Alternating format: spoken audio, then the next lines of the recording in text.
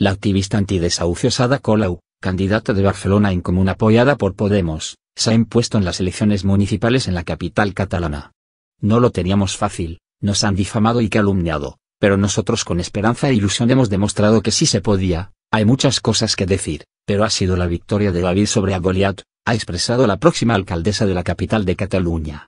En Barcelona, con el 91,17% escrutado Barcelona en Comú consigue 11 concejales, CIU, que gobernaba hasta ahora, 10, C S5, ERC 5, PSC 4, y el PP y la CUP 3.